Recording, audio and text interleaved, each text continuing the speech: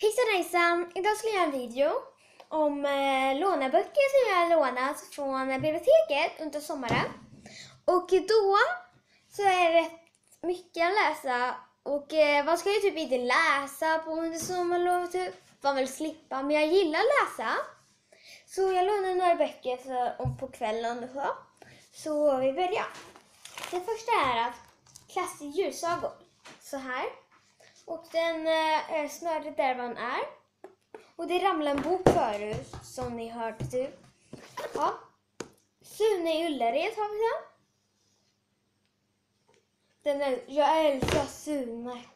Men sen mest som jag älskar är Cirkusmysteriet Lasse-Maja. Köp nu.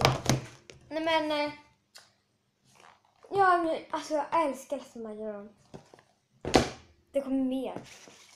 Hotellserie, Lasse-Maja och är från eh, Ma Martin... Martin Wirmark. Wirmark. Äh, så här kan du uttala det. Sen har vi Pesttidningen. Det är, de älskar jag. Sen har vi Tidningsserien. Lasse-Maja.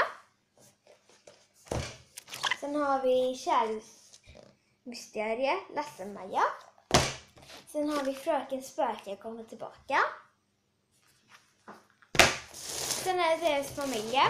Stora Gåtboken. Äh, jag älskar den, den äger. Jag älskar Gåtboken. Det är de böckerna. Sen en annan sak att göra. Följ gärna mig på Snapchat. Så jag heter eh, Li Johansson. Så jag, jag länkar eh, jag, eh, som ni ser. Ja nu. Sen har vi Instagram. Och eh, jag heter Lucy112. Och som ni ser nu. Och sen har jag, eh, vad heter det igen? Ja, det var de två för, ja, det är en grej som ni får ta mig på. Ja, det är de två grejerna som ni får gärna skaffa mig. Så eh, vi ses, hejdå! Det går lite sådär. Som ni ser så heter jag Lucy112 på båda. Och gilla gärna den här videon. Ses. Hejdå!